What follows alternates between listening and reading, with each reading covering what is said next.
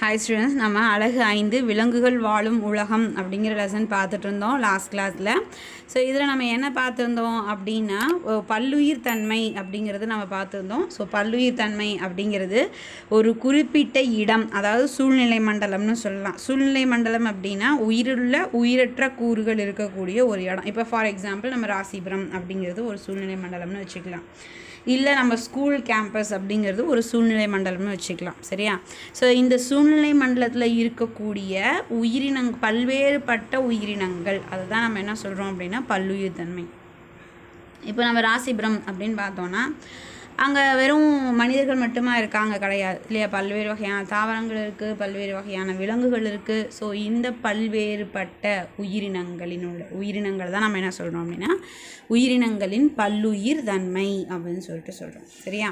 So இந்த பல்லுயிதன்மை பற்றி நம்ம லாஸ்ட் கிளாஸில் பார்த்துருந்தோம். ஸோ அடுத்து நம்ம பார்க்க போகிறது என்ன அப்படின்னா வாழிடம் ஸோ வாழிடம் அப்படிங்கிறத சிம்பிளாக சொல்லணும் அப்படின்னா உயிரினங்கள் வாழக்கூடிய இடம். அதை தான் நம்ம என்ன சொல்கிறோம் அப்படின்னா வாழிடம் அப்படின்னு சொல்லிட்டு சொல்கிறோம் மீன்களும் நண்டுகளும் நீரில் மட்டுமே வாழும். அதே சமயம் யானை புலி மற்றும் ஒட்டகம் போன்ற பல விலங்குகள் நிலத்தில் மட் நிலத்தில் வாழ்கின்றன. ஓகேயா ஸோ இப்போ மீன்களை கொண்டு வந்து நம்ம எங்கே வளர்க்க முடியாது? நம்ம வீட்டில் தரையில் போட்டு வளர்க்க முடியுமா? செடி வளர்க்குற மாதிரி வளர்க்க முடியுமா? இல்லை ஆடு மாடு பூனை வளர்க்குற மாதிரி வளர்க்க முடியுமா? மீனை கொண்டு வந்து அப்படின்னா வளர்க்க முடியாது. யானை புலியை பூ- பூனையை கொண்டு போய் தண்ணிக்குள்ளே விட்டு வளர்க்க முடியுமா அப்படின்னா வளர்க்க முடியாது சரியா?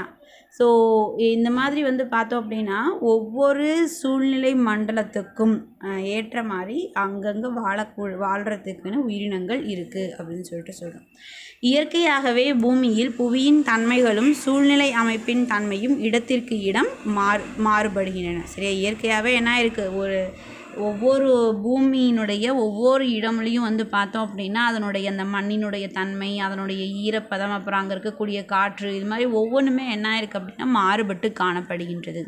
ஓகேயா அப்படி இருக்கும்போது அந்த ஒவ்வொரு சூழ்நிலை மண்டலத்துலேயுமே ஒவ்வொரு இடத்துலையுமே வந்து பார்த்தோம் அப்படின்னா ஒவ்வொரு வெவ்வேறு வகையான உயிரினங்கள் வாழ்கின்றன. ஒட்டகம் அப்படிங்கிறது வந்து பார்த்தோம் அப்படின்னா பாலைவன கப்பல்னு சொல்லுவோம் உனக்கு தெரியும் இல்லையா? ஒட்டகம் வேறுபட்ட சூழ்நிலையில் வாழும் தன்மையை பெற்றிருந்தாலும் ஒட்டகத்தை கூட்டிகிட்டு வந்து நம்ம இப்போ ரா- நம்ம ஊரில் வச்சு வளர்க்குறோன்னு வச்சுக்கோங்களேன். அது வளரும் சரியா? வளரும் எல்லாமே பண்ணும் எல்லா வேலையும் செய்யும். ஆனால் அதே ஒட்டகத்தை நீங்கள் கொண்டு போய் பாலைவனத்தில் விட்டீங்க அப்படின்னா அது இன்னும் நல்லா வளரும். சரியா? ஸோ அந்த டிஃப்ரென்ஸ் இருக்குது ஸோ இப்போ நம்மளை கொண்டு வந்து நாம் இப்போ வீட்டில் இருக்கோம். சரியா? நம்ம நம்ம வீட்டில் இருக்கோம். நம்ம பேரண்ட்ஸ் கூட நம்ம அம்மா அப்பா கூட நம்ம வீட்டில் இருக்கோம். நம்மளை கொண்டு போய் ஒரு பத்து நாளைக்கு ஹாஸ்டலில் போடுறாங்கன்னு வச்சுக்கலாம். சரி இல்லை பத்து நாளைக்கு சொந்தக்காரங்க வீட்டில் போடுறாங்கன்னு வச்சுக்கலாம். விட்டுட்டு வராங்க. சரியா?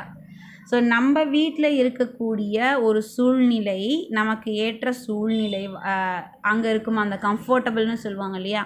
ஸோ நம்ம வீட்டில் இருக்கக்கூடிய அந்த கம்ஃபர்டபுள் மற்ற இடத்துக்கு நம்ம போ நம்ம போகும்போது இருக்குமா அப்படின்னா கண்டிப்பாக இருக்காது. சரியா? ஸோ அதே தான் இங்கேயும். ஒட்டகம் இங்கேயும் இருக்கும் தான். அது வளரும் தான். ஆனால் அந்த பாலைவனத்தில் அது வளரும்போது இன்னும் நல்லா வளரும் அப்படின்னு சொல்லிட்டு சொல்கிறோம் சரியா?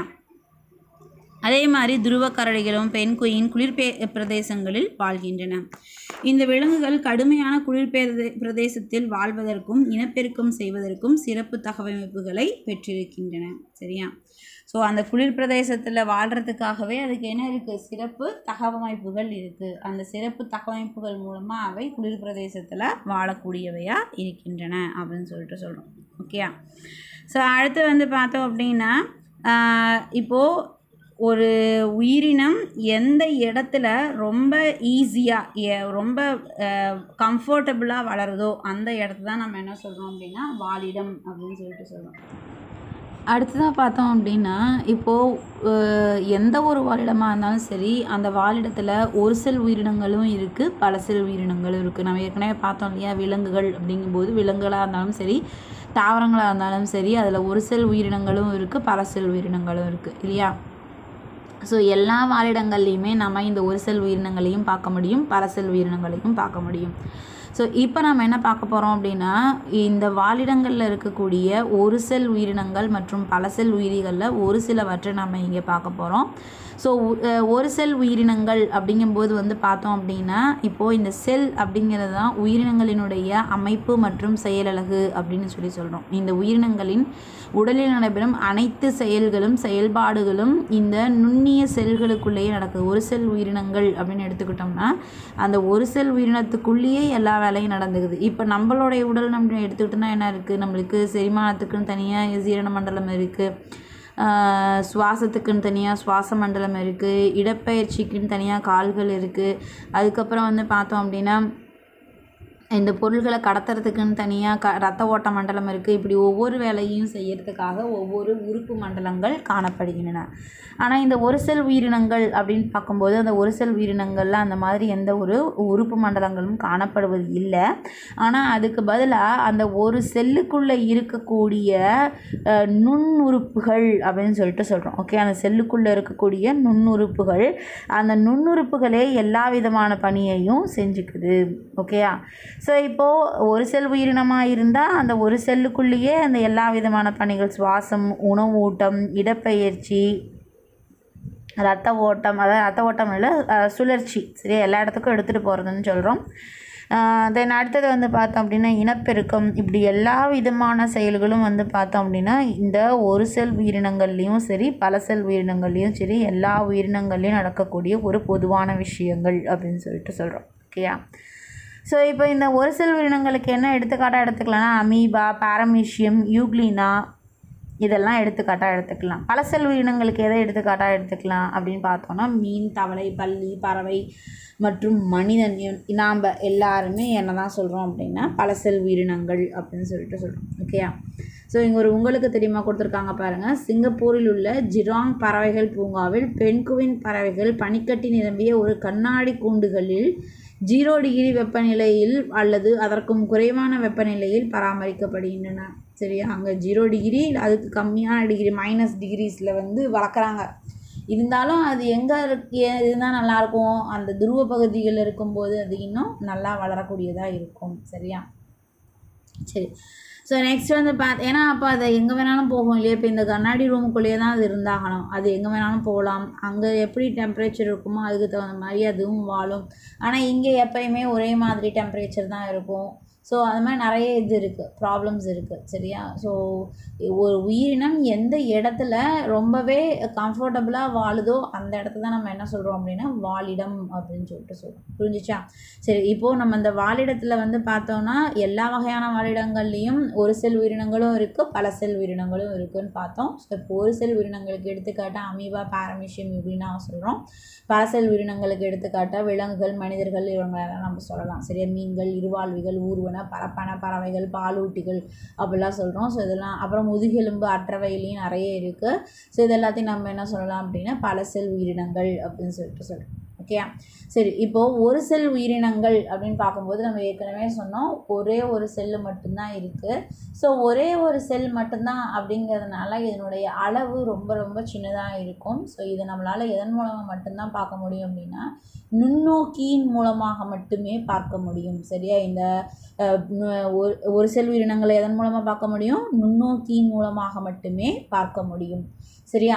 ஸோ அதனால் இதை நுண்ணுயிர்கள் நுண்ணுயிரிகள் நுண்ணோக்கியின் மூலமாக அதனால தான் நம்ம என்ன சொல்கிறோம் நுண்ணுயிரிகள் அப்படின்னு சொல்லிட்டு சொல்கிறோம் ஓகேயா ஸோ இந்த நுண்ணோக்கியில் மட்டுமே பார்க்கக்கூடிய மிகச்சிறிய உயிரினங்கள் அவை நீரில் வாழும் தன்மை கொண்ட எளிய மற்றும் விலங்குகளிலேயே மிகவும் முக்கியமான உயிரினங்கள் அப்படின்னு சொல்லிட்டு சொல்கிறோம் சரியா? முதன்மையான உயிரினங்கள் முக்கியமான முதன்மையான உயிரினங்கள்னு சொல்கிறோம் இதுதான் வந்து பார்த்தா இப்போது மொத மொத தோன்றின உயிரினம் என்ன?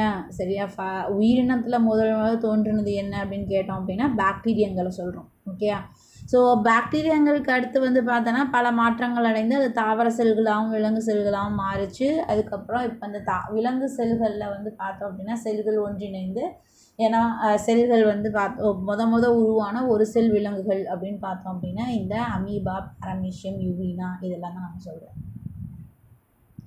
ஓகேயா ஸோ இப்போது ஒரு செல் உயிரினங்களை நம்ம முன்னோக்கினால் மட்டுமே பார்க்க முடியும். இதுதான் முதன்மையான உயிரினங்கள் அப்படின்னு சொல்லிட்டு சொல்கிறோம் ஸோ இந்த நுண்ணுயிர்களினுடைய அளவை நம்ம எதில் அளக்கிறோம் அப்படின்னா மைக்ரான் என்ற அழகினால் அளக்கிறோம். சரி நுண்ணுயிர்களை நம்ம எந்த அழகால் அளக்கிறோம் அப்படின்னா மைக்ரான் என்ற அழகால் அளக்கிறோம். தன்னுடைய உடல் செயல்பாடுகளை செஞ்சுக்கிறதுக்காக இதுக்குள்ளே என்ன இருக்குன்னா செல் நுண்ணுறுப்புகள் காணப்படுகின்றன. ஓகேயா ஸோ இப்போது ஒரு அமீபாவோட அமைப்பு இதுதான். சரியா? அமீபாவை பற்றி நம்ம பார்க்க போகிறோம் அமீபா அப்படிங்கிறது ஒரு செல் உயிரி. இது நம்ம நோக்கினால் மட்டுமே பார்க்க முடியும். நன்னீர் நிலைகளில் இருக்கக்கூடிய ஒரு உயிரினம். ஓகேயா இந்த நன்னீரில் இருக்குது ஸோ நீரிலிருந்து இது உணவை பெற்றுக்கொள்கின்றது. ஸோ நீரிலிருந்து உணவை பெறுவதற்காக இதில் என்ன இருக்குன்னா போலிக்கால்கள் காணப்படுகின்றன. ஸோ இப்போது உணவு இங்கே வருதுன்னு வச்சுக்கலாம். சரியா? இந்த இடத்துக்கு உணவு வருதுன்னா உடனே இந்த இடத்துல இருந்து என்ன ஆகும்னா போலிக்கால்கள் கால் ஒரு புடைப்பு ஏற்படுது. சரியா? இப்போ இந்த இடத்துல இருக்குதுன்னு வச்சுக்கலாம். இங்கே உணவு பக்கத்தில் இந்த இடத்துல வந்திருக்கு. இப்போது என்னாகும் அப்படின்னா அந்த உணவை சுற்றி ஒரு புடைப்பு இந்த செல் சவ்வு இருக்கு இல்லையா? அந்த செல் சவ்வுலேருந்து ஒரு புடைப்பு ஏற்பட்டு அந்த புடைப்பின் மூலமாக என்ன பண்ணிக்குதுன்னா அதை அப்படியே உள்ளே இழுத்துக்கும் அதோட உடம்புக்குள்ளே இழுத்துக்கும் சரியா? ஸோ உடம்புக்குள்ளே இழுத்துக்குது. அது என்னவாக மாறுது அப்படின்னா உணவு குமிழாக மாறுகின்றது. சரி அது என்னவா மாறுது? உணவு குமிழாக மாறுது. ஸோ அந்த உணவு குழி அப்படின்னு சொல்லலாம் உணவு குமிழ் அப்படின்னு சொல்லிட்டு சொல்லலாம். ஸோ அந்த உணவு குமிழுக்குள்ளே என்னாகும் அப்படின்னா செரிமானமானது நடைபெறுகின்றது. பெரிய மூலக்கூறுகள் சிறிய மூலக்கூறுகளாக உடைக்கப்பட்டு ஆற்றலானது வெளியிடப்படுகின்றது.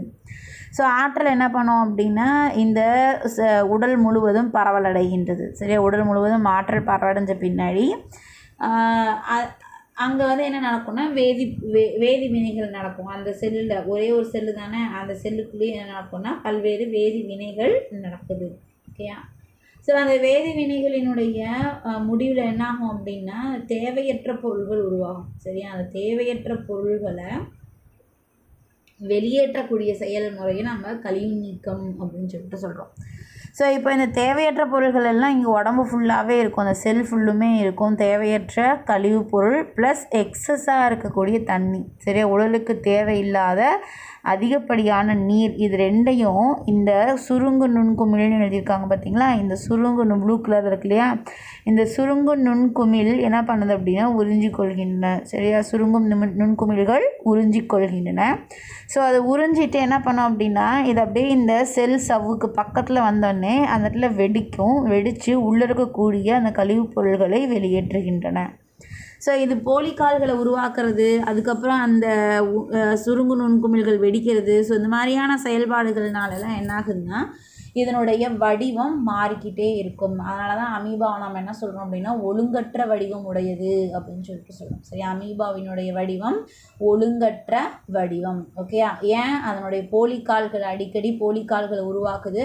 அப்போ என்ன ஆகுது அங்கங்கே புடைப்பு ஏற்படுது இல்லையா? ஸோ அப்போ அதுக்கு ஒரு நிரந்தரமான ஷேப் கிடையாது ஓகேயா ஸோ போலிக்கால்களை உருவாக்குறதுனால இதுக்கு நிரந்தரமான அமைப்பு கிடையாது. இது ஒழுங்கற்ற வடிவமுடையது நன்னீரில் வாழக்கூடியது ஓகேயா இதில் போலிக்கால்கள் மூலமாக உணவூட்டம் இப்போ உணவை விழுங்குச்சு இல்லையா? உணவை விழுங்குறது உணவூட்டம். உணவை விழுங்கி அதை செரிமானம் செஞ்சு ஆற்றல் வெளியிடப்படக்கூடிய நிகழ்வுக்கு உணவூட்டம்னு பேர் சரியா? அதே மாதிரி கழிவு நீக்கம் எதன் மூலம் நடந்தது? சுருங்கு நுண்குமிழ் மூலமாக நடந்தது. ஸோ அடுத்தது வந்து பார்த்தோம் அப்படின்னா சுவாசம் அப்படின்னு சொல்லிட்டு சொல்கிறோம் ஸோ சுவாசம் வந்து பார்த்தோம் அப்படின்னா எளிய பரவல் முறையின் மூலமாக நடைபெறுகின்றது. சரியா? சுவாசமானது எளிய பரவல் முறையின் மூலமாக நடைபெறுகின்றது. ஸோ இது ரொம்பவே ஒரே ஒரு செல் தான் இல்லையா? ஸோ அதனால் என்னாகும் அப்படின்னா அந்த ஒரு செல்லே அதுக்கு வேணுங்கிற காற்றை வந்து எடுத்துக்கக்கூடியதாக இருக்குது இப்போது இந்த அமீபா எங்கே இருக்குன்னு சொன்னோம்? நீர்நிலைகளில் இருக்குது இந்த நீரில் இந்த அமீபாவை சுற்றி இருக்கக்கூடிய நீரில் ஆக்சிஜனுடைய அளவு அதிகமாக இருக்கும். அமீபாவை கம்பேர் பண்ணும்போது அமீபாக்குள்ளே ஆக்சிஜன் இல்லை. சரியா? அங்கே அதிகமாக என்ன இருக்குது கெமி வேதிவினைகள் நடக்கும்போது ஆக்சிஜனை வந்து அது பயன்படுத்திக்கும் ஸோ ஆக்சிஜனை பயன்படுத்திக்கிட்டு கார்பன் டை ஆக்சைடை வெளியில் விடும். சரி அதனால் இப்போது இதனுடைய உடலில் என்ன இருக்கும்? கார்பன் டை ஆக்சைடினுடைய அளவு அதிகமாக இருக்கும். அதுவே சுற்றுப்புறத்தில் என்ன இருக்கும் அப்படின்னு பார்த்தோம் அப்படின்னா சுற்றுப்புறத்தில் ஆக்சிஜனுடைய அளவு அதிகமாக இருக்கும். ஏன்னா ஃப்ரெஷ் வாட்டர் இல்லையா? ஸோ சுத்தமான தண்ணி இல்லையா? ஸோ புதுமையான தண்ணி இல்லையா? காற்றில் வளிமண்டல இருக்க காற்றுலேருந்து ஆக்சிஜன் வந்து கரைஞ்சிக்கிட்டே இருக்கும் அந்த தண்ணியில். ஸோ அப்போது வலி நீரில் வந்து பார்த்தோம் அப்படின்னா ஆக்சிஜன் அளவு அதிகமாக இருக்குது இங்கே உள்ள உடம்புக்குள்ளே வந்து பார்த்தோம் அப்படின்னா கார்பன் டை ஆக்சைடினுடைய அளவு அதிகமாக இருக்குது ஸோ இப்போது இங்கே சிம்பிளாக என்ன ஆகுதுன்னா இந்த மூலக்கூறுகள் அதிகமாக உள்ள பக்கத்திலிருந்து குறைவாக உள்ள பக்கத்திற்கு நகர்ந்து செல்கின்றன. சரியா? மூலக்கூறுகள் அதிகமாக உள்ள பக்கத்திலிருந்து குறைவாக உள்ள பக்கத்திற்கு நகர்ந்து செல்கின்றன. அதை தான் நம்ம என்ன சொல்கிறோம் அப்படின்னா எளிய பரவல் முறை அப்படின்னு சொல்லிட்டு சொல்கிறோம் இப்போ நீங்கள் ஒரு நல்லா காஞ்ச ஸ்பாஞ்ச் இருக்கிற வீடு துடைக்கிறதுக்கு ஸ்பாஞ்ச் வச்சுருப்போம். இல்லாட்டி சும்மா காட்டன் வச்சுருப்போம் இல்லை ப பஞ்சு ஏதாவது கட்டு கட்டுறதுக்காக பஞ்சு வச்சுருப்போம் இல்லையா? ஸோ அந்த பஞ்சை எடுத்து நல்லா காஞ்சிருக்க பஞ்சு அதை எடுத்து நீங்கள் தண்ணி இருக்கிற பாத்திரத்தில் போடுறீங்க. என்ன பண்ணும்? அந்த த- அந்த ஸ்பாஞ்சு நனைஞ்சிக்கும் சரியா? அதுவே வந்து பார்த்தோம் அப்படின்னா நல்ல ஈரமாக இருக்கிற ஸ்பாஞ்சை கொண்டு போய் மறுபடியும் தண்ணிக்குள்ளே போடுறோம். ஸோ இப்போ தண்ணி உறிஞ்சுமா அந்த ஸ்பாஞ்சு உறிஞ்சாது இல்லையா? ஸோ ஏன் உறிஞ்சாது அப்படின்னு பார்க்கும்போது அங்கே நீர் மூலக்கூறுகள் ஏற்கனவே இருக்குது நிறைய இருக்குது சரியா? முன்னே வந்து ஃபஸ்ட்டில் வந்து பார்த்தோம் அப்படின்னா நீர் மூலக்கூறுகள் பஞ்சுக்குள்ளே இல்லை வெளியில் நீரில் இருந்தது. ஸோ அப்போது அதிகமாக இருக்க நீர் மூலக்கூறுகள் அதிகமாக உள்ள பக்கத்திலிருந்து குறைவாக உள்ள பக்கத்துக்கு போச்சு சரியா? ஆனால் இப்போது நல்ல ஈரமான ஸ்பாஞ்ச் அப்படிங்கும்போது அங்கேயே ஏற்கனவே நீர் மூலக்கூறுகள் இருக்குது அதனால் என்ன ஆகாது அப்படின்னா இந்த நீர் மூலக்கூறுகள் அதிகமாக உள்ள பக்கத்தில் இருந்து அப்போ வந்து நீர் மூலக்கூறுகள் ரெண்டு பக்கமுமே அதிகமாக இருக்குது சரியா? ஸோ அதனால் என்ன ஆகாது அப்படின்னா அது இடம் பெயராது அப்படின்னு சொல்லிட்டு சொல்கிறோம் சரியா? ஸோ இது புரிஞ்சது இல்லையா? ஸோ இது மாதிரி நீரும் அது எந்த மூலக்கூறாக இருந்தாலும் சரி மூலக்கூறுகள் அதிகமாக உள்ள பக்கத்தில் இருந்து குறைவாக உள்ள பக்கத்திற்கு நகர்ந்து செல்லக்கூடிய செயல்முறை. அதை தான் நம்ம என்ன சொல்கிறோம் அப்படின்னா எளிய பரவல் முறை அப்படின்னு சொல்லிட்டு சொல்கிறோம் ஓகேயா?